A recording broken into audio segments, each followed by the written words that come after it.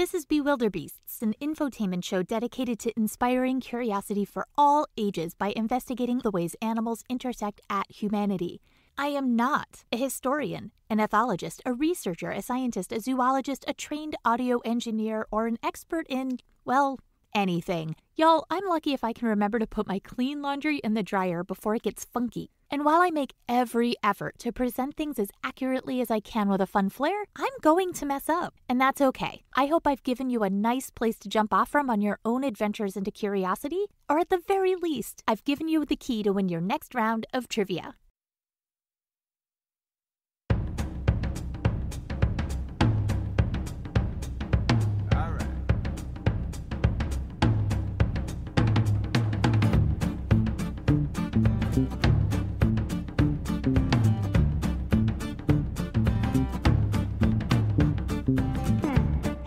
Hello and welcome to Bewilderbeasts. I'm your host, Melissa McCue McGrath, still recording from the tiniest podcast studio closet outside of Boston, Massachusetts. Today on Bewilderbeasts, we are going to talk about a giant dog skeleton and a big foot. Today got weird, y'all. All right, let's go.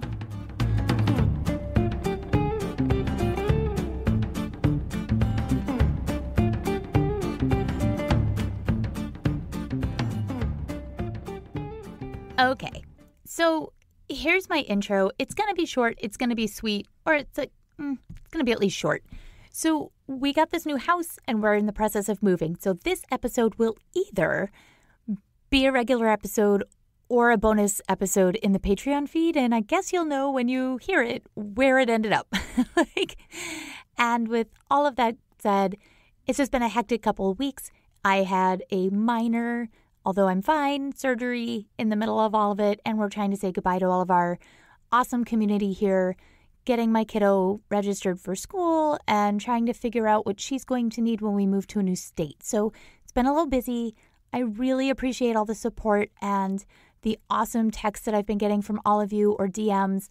Keep them coming because it really does. Um, it helps me. It just helps me. It, it's hard to do things knowing I'm moving away from our community, um, but knowing that there's this other community here that's listening, that's participating, and this is for you. So I hope you guys like it. Um, and I'm not going to try to give too much away here. It's a really fun episode based on something I saw on Facebook. So take that with whatever grain of salt you want to take it with. All right, let's go.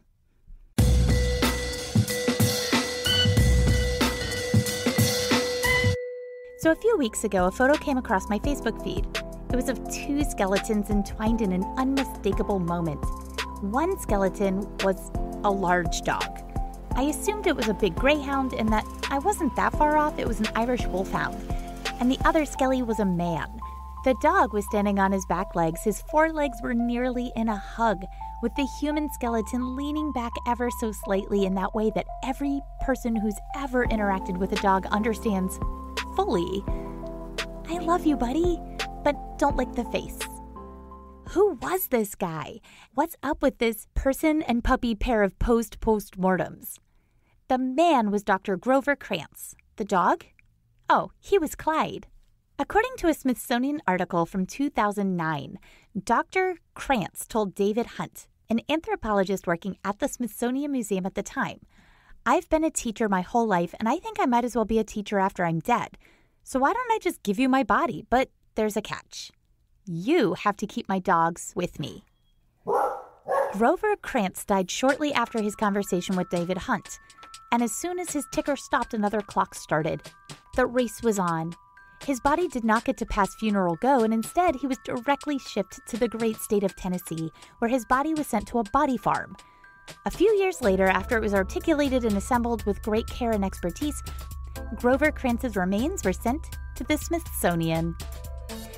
Which it turns out, to backtrack for a quick second, fourth graders think body farms are very different than what they actually are. They are places where forensically inclined scientists study decay rates in human bodies. So, what if we put this body in mud? And what if we put this one under a tree? What if we put this one in a hot container?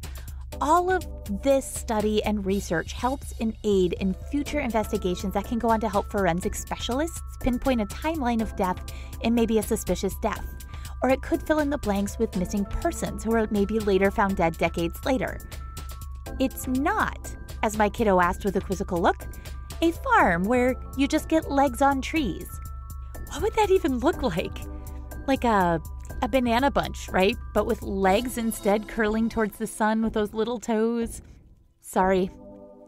So, given the timing of the image of the post pair circulating on social media in August of 2021, and knowing that there are dog science laboratories all over the country, often tied to universities, it might make sense to think that this guy was maybe a dog scientist or worked with dogs to save lives. He did something big and he loved his animals.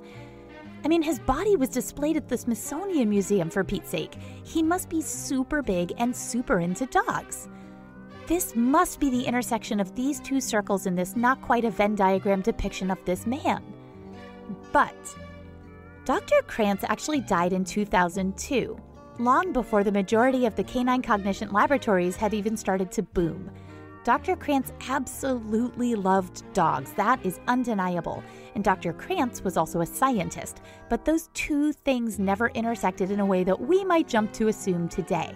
According to the description in the Smithsonian exhibit, Big Clyde, along with the bone remains of three other dogs, Icky, Yahoo, and Lika, were displayed with Dr. Grover Krantz, who was an anthropologist which, given his profession and his area of expertise, this explains why he had the dogs in the 70s that still had bone remains accessible and usable in the 2000s for display. What was omitted from his history in the Smithsonian display, but was absolutely noted in the Smithsonian articles on the same subject, is that Dr. Grover Krantz is often noted as the very first, or only, professional and scientist to consider Bigfoot as real. Cryptozoology is, to me, the crystal ball reading of the zoology world. It may be fun to think about, there are great stories with Bigfoot and, and other mythical beasts like unicorns, but to prove that they really existed in the way that we think of today, when there is no evidence, is a bit of a stretch. However, the fact that there is no concrete evidence does help these cases get steam. You cannot prove a negative, you just keep digging and digging and digging some more. Fringe science in a nutshell. But, on the other hand, what is science, data, and information without pushing the boundaries of what is already known? The whole purpose of science is to study, to understand, to ask questions, and to back it up. Einstein was considered probably downright Looney Tunes at the time of his theory of relativity. Maybe not this piece isn't about him and I didn't study it at all. But the idea that he was able to come up with these theories about black holes that were proven in the 2000s was bananas. Real bananas, not curly legs growing from trees bananas. So, the whole purpose of science is to study, to understand, to ask questions, and to back it up. Answer the why, the how, and push the boundaries of what is previously known to go where no man or woman, or neither, neither, both has gone before. And while Dr. Krantz was reported to be the butt of the jokes at Washington State University, where he studied human evolution, the truth of the matter is what is Bigfoot other than a large ape like creature, right? It exists in native lore and in current TLC shows. So, what if instead of looking for wackadoo stuff that doesn't currently exist, what if we thought of it more as a jumping stone from apes to man? Well, this theory might hold a little more water. Maybe. So Grover Krantz knew that without a body, a piece of anything, no one would ever believe him. It's a six to 800 pound, six foot animal. How can we not find him or his evidence? Occam's razor says that the easiest explanation is often the best.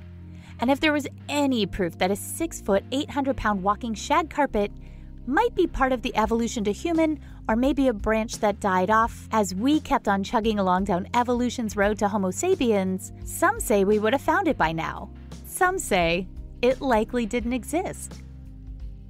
So let's look at other examples of mythical creatures with real life examples in today's world that have been explained in different unusual ways. The kraken and the images of mythical tentacled aquatic beasts on old timey maps. We've all seen them. The little sketches in the ocean, the little drawings, the big portraits of the, the ship being taken down by a giant squid. Well, it turns out that the root of the mythical kraken might be nothing more, and I'm so glad I'm not making this up whale penises. You see, the penis of the North Atlantic right whale can be at least 1.8 meters long. And it could easily be taken by a naive witness for a tail, as a serpent, or as a tentacle. The irony of one particular sea serpent incident reported in 1875 was that a particular white pillar like serpent was seen slithering in the midst of a pod of sperm whales, which was described as frantic with excitement. Of course, it was sperm whales. Of course. But if there was absolute proof of Bigfoot, I bet a lot of people, hi, I am that people, would absolutely do an about turn. I'm very much in the Sasquatch agnostic camp. I will believe it when I see it.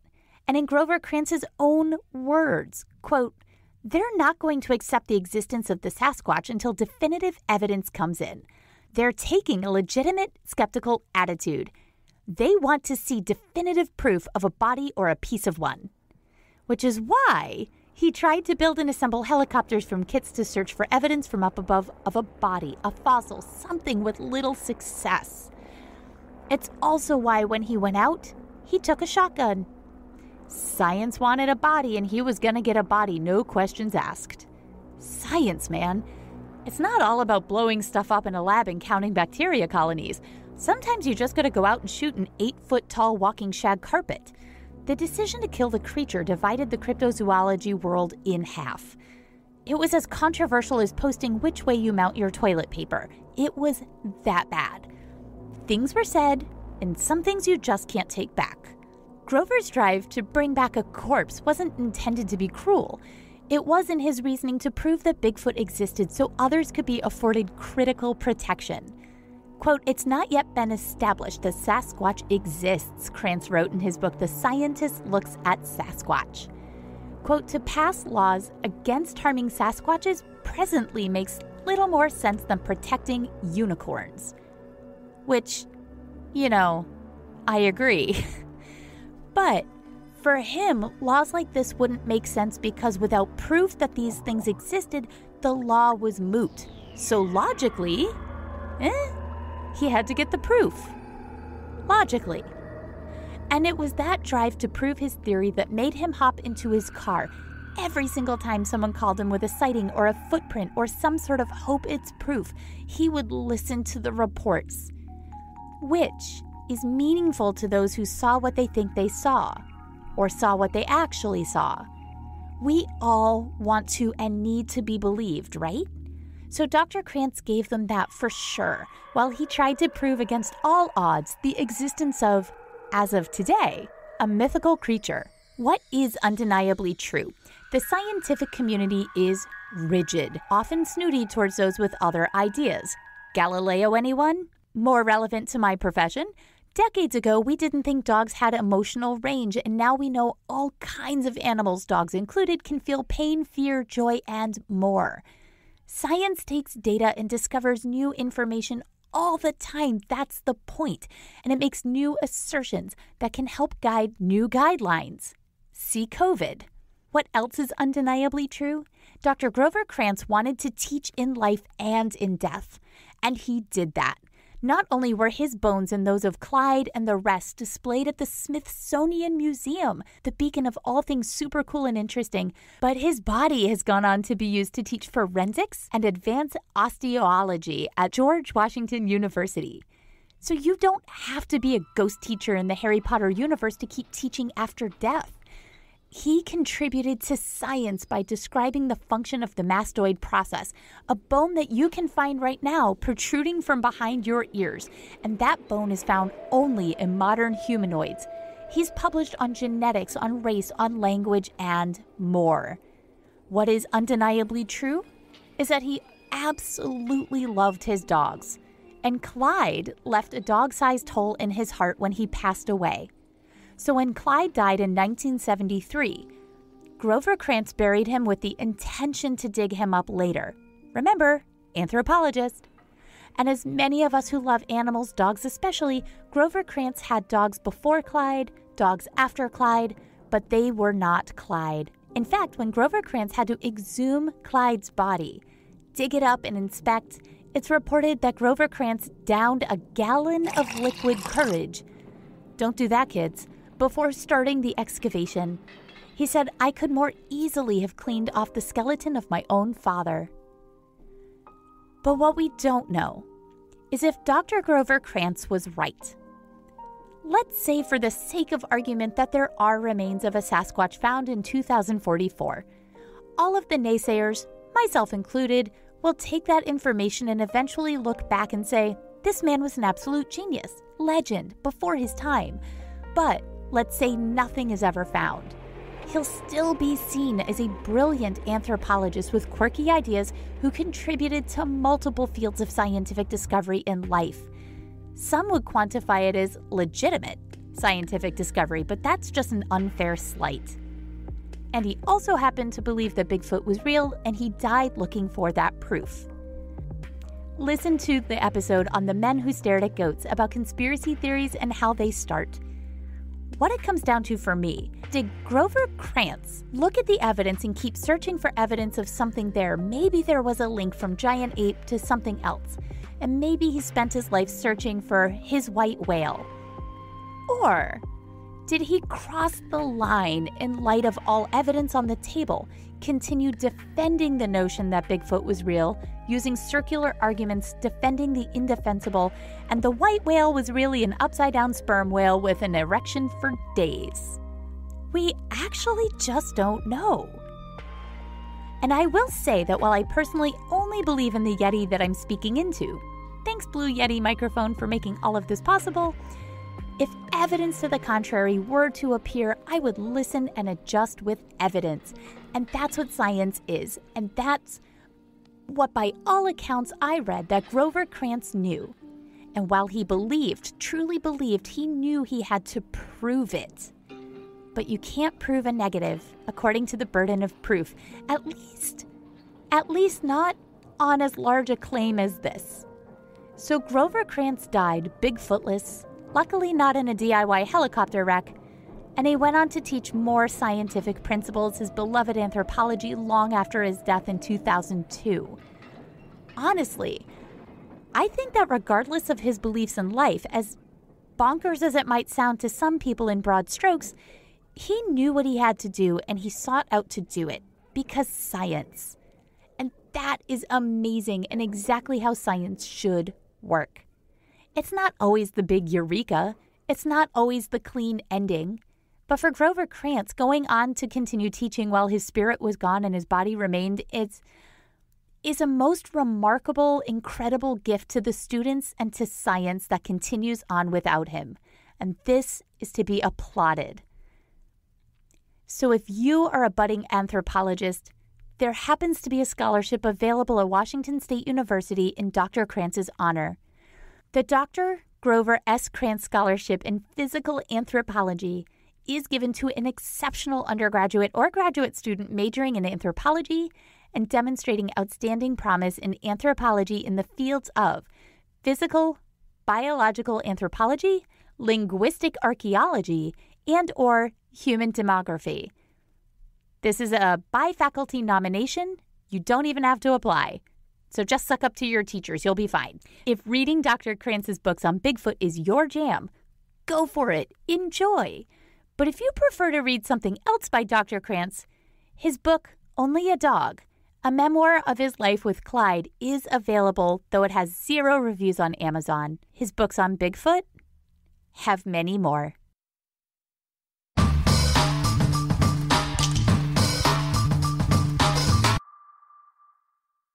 So thank you for joining me today on Bewilderbeasts. If you like this show, please subscribe, tell a friend, go to Podchaser, leave a review. Anything helps. And I'm not sure if this is going to be a bonus episode yet or a regular episode. We're moving in September, so if you haven't supported on Patreon, consider doing that for more episodes like this, more content and goodies. And if you have supported on Patreon and you're listening on that feed, hey, thanks for supporting the show. Whew, look at me covering all the bases. So, I'm Melissa McCue McGrath, co training director of the New England Dog Training Club. I'm on my way right now to teach my very last class in person with them before my move. If you're listening from NEDTC, I'm going to miss you.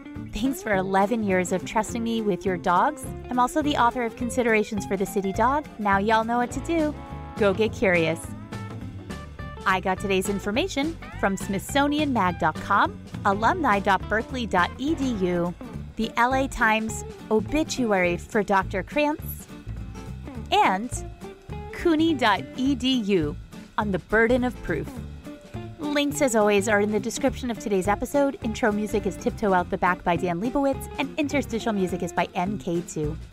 Don't forget to like and subscribe and share with all of your curious friends. You know what every other podcaster tells you to do. And I will see you next week.